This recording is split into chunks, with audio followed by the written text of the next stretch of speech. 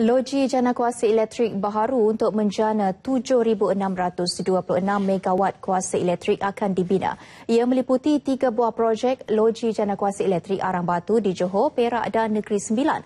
Manakala dua lagi projek loji jana kuasa elektrik gas di Pulau Pinang dan Johor.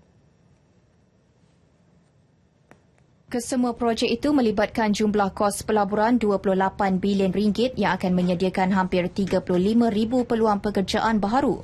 Sementara itu, perkhidmatan pembentungan bersambung pula disasarkan meningkat kepada 80% di bandar utama. Sehubungan itu, projek loji rawatan serantau dan rangkaian paip pembentungan di Kinta Barat, Papan Perak akan dibina. Ia akan melibatkan anggaran kos 2 bilion ringgit. Bagi memenuhi permintaan gas asli di masa depan, kemudahan kebutuhan pengimportan gas tersebut akan ditambah. Terminal regasifikasi 2 sedang dibina di Pengerang Johor sebagai tambahan kepada Terminal regasifikasi 1 di Melaka. Selain itu, pembangunan kompleks bersepadu petroleum Pengerang akan dilaksanakan pada tahun 2016 dengan pelaburan 53 bilion ringgit.